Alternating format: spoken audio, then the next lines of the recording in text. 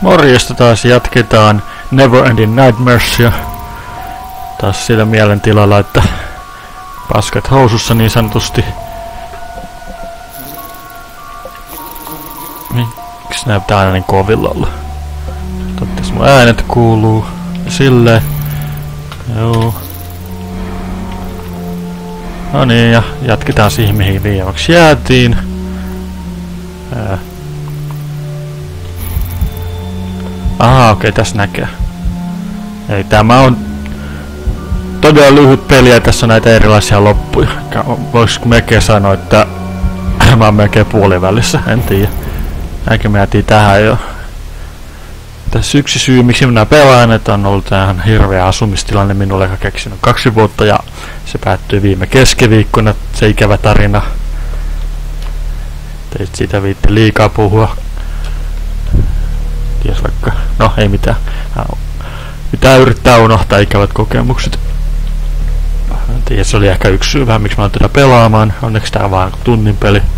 Toivottavasti minä pääsen tämän vielä läpi. Aika huono näissä peleissä. Jostain syystä kolmiotteiset pelit ovat hirveän vaikeita. En tiedä, kuinka hahmotusongelmia tai sellaisia voi olla. Joku on hampaita vähän repinut. Niin vihollisia tässä ei ole vielä tullut, ja, mutta kyllä niitä alkaa tulemaan. Joo.